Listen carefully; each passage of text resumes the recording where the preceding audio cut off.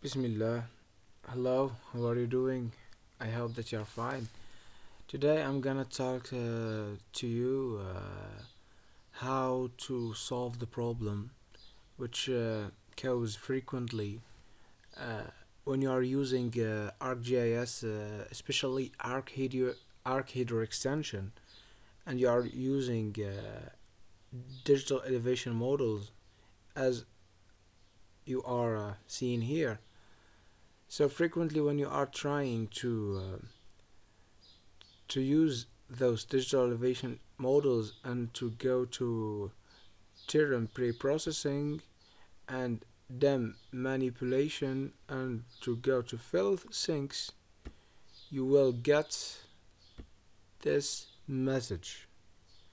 This is the problem. I have looked lots about the solution of this problem but in vain I didn't find anything.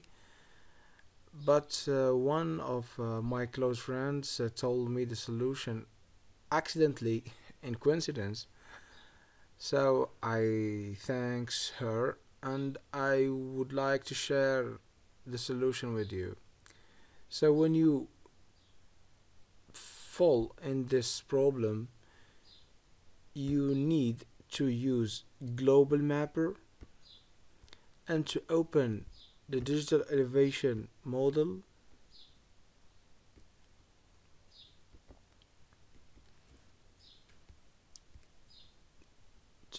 To open the digital elevation model as you will see here.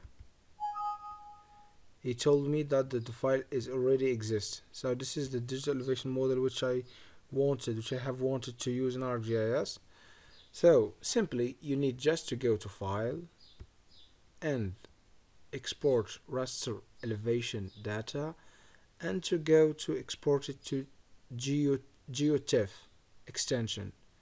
Export the, the digital elevation model to, to export or to GeoTIFF extension and OK and you need to check this column or this line here elevation 32-bit floating point samples. And click OK.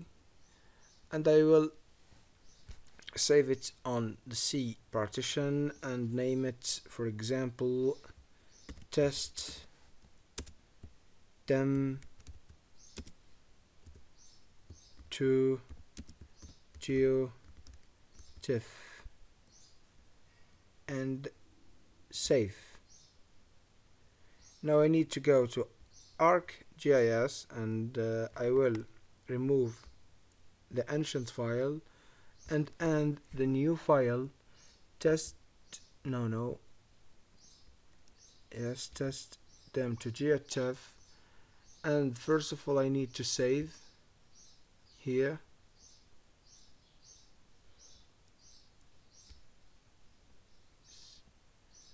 so I need to go to pre processing then, then manipulation and to fill sinks and to see if I will get the same problem. I hope no.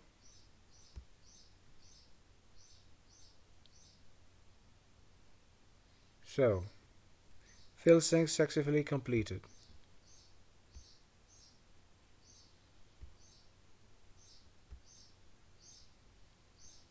And you can complete the different processes of ArcHydro processing without any problem. So so I have wanted to share this problem or the solution of this problem with you. I hope that I was uh, clear in my explication.